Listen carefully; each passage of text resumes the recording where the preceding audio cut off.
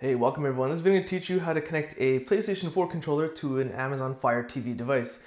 This will pretty much work across any Amazon Fire TV device that you have. So the first thing you want to do is while the PlayStation 4 controller is powered down and off, is press and hold the PlayStation button and the share button together for about 3 seconds. You'll know it's in pairing mode when the top bar starts to flash a color. Over on your Fire TV device, you'll have to navigate to the main system settings, remotes and Bluetooth devices, game controllers, and add a new game controller.